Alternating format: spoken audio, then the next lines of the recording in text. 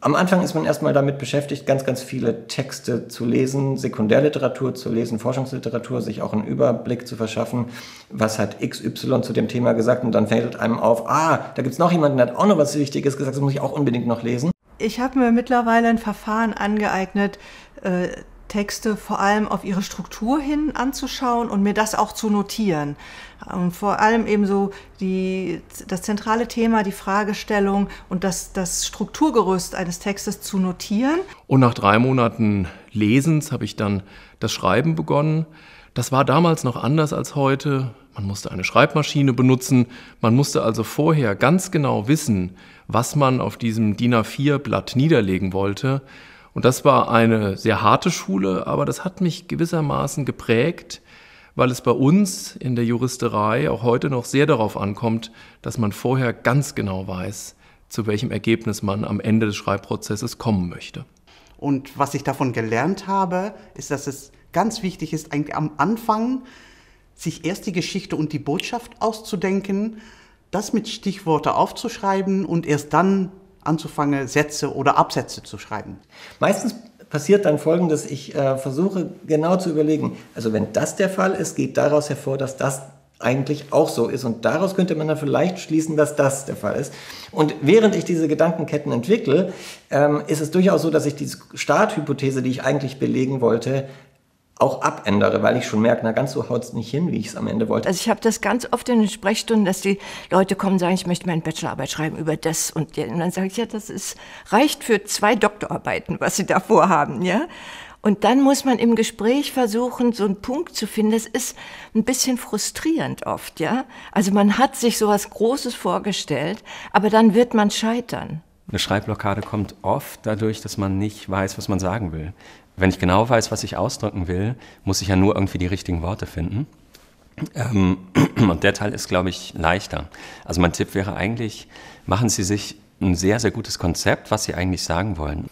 Oder man kann auch also konkrete Kreativtechniken ähm, einsetzen, sich Schaubilder machen, ähm, äh, mit Mindmap arbeiten, ähm, Probleme versuchen zu visualisieren, ähm, und äh, das dann vielleicht auch wieder liegen zu lassen, um danach dann weiterzukommen. Also ich finde, es gibt sozusagen verschiedene Routinen, die man entwickeln kann, auch mit diesen eigenen Problemen des Schreibens äh, fertig zu werden. Dass ich mir halt vornehme, ich arbeite pro Tag zwei oder drei Stunden an diesem Werk. Das klingt jetzt nicht nach viel, aber diese zwei oder drei Stunden, da sind keine Kaffeepausen drin, da ist kein Gespräch mit dem Kollegen und kein Facebook-Checken oder sonst was, sondern lege ich mir halt wirklich eine, eine Stoppuhr neben mich.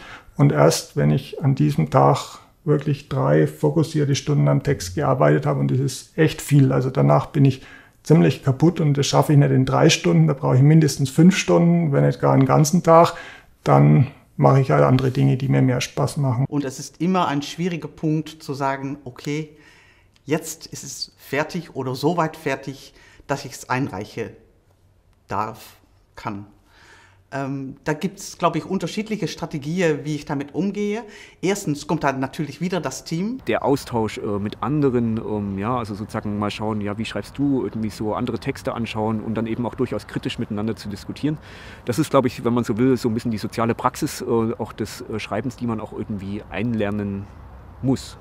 Und da kann man so unglaublich viel lernen. Also man lernt an den Fehlern der anderen, wenn man sie findet, mindestens so viel wie an den Fehlern, die man selber gemacht hat, wenn andere sie bei einem gefunden haben. Das ist wirklich unglaublich hilfreich.